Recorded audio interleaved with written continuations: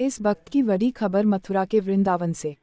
हनुमत आराधना मंडल के तत्वाधान में श्री धाम वृंदावन के रमन रेती मार्ग स्थित भारतीय रेजिडेंसी में भव्य सुंदरकांड पाठ का आयोजन किया गया।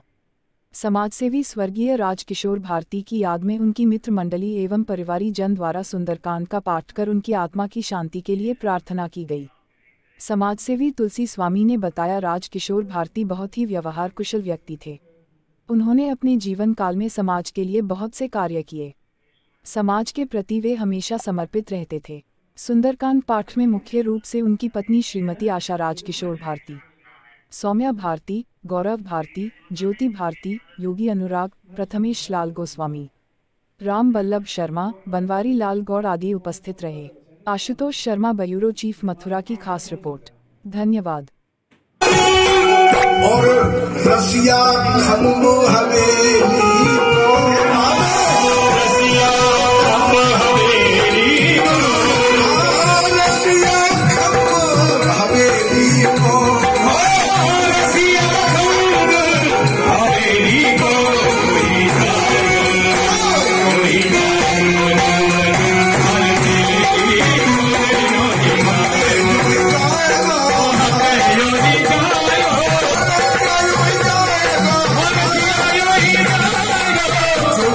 आ रहे हैं और हमारे अभिषेक, जिनसे कथा सीखी है, उनके परम पूज्य गुरुदेव श्री मंजरी जी महाराज भी पधारे हैं और हमारे बीच में विश्व रहते हैं। ऐसे हमारे श्री नागेंद्र जी गौड़ जी महाराज भी पधारे इनके लिए एक बार करतल ध्वनि से सब स्वागत करें, क्योंकि आपके घर में सिद्ध जी भी पधारे हैं।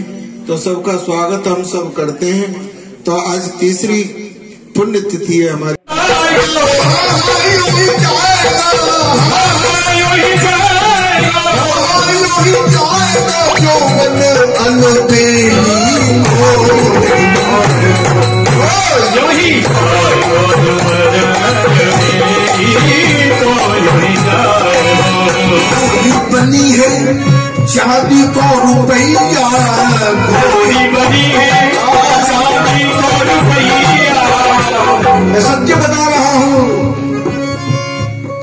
ये श्रीमद भागवत का भी प्रमाण है श्रीमद भगवत गीता का भी प्रमाण है। तत्व का परिवेदना क्या है उसका? तत्व का परिवेदना। जी आज भाई साहब क्या कर महानुभाव आज वृंदावन में उपस्थित सभी हनुमान बाबू को प्रणाम।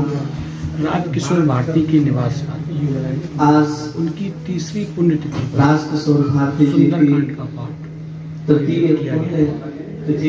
राजकिशोर भारती जी एक वृंदावन के ऐसे व्यक्तित्व थे चाहे व्यापार का क्षेत्र हो सामाजिक क्षेत्र हो और राजनैतिक क्षेत्र हो हमारे साथ तो या मैं कहूँ मित्रता का क्षेत्र हो परिवार का क्षेत्र हो सभी में उनका होता था। एक श्रेष्ठ तो हम लोग साथ में थे।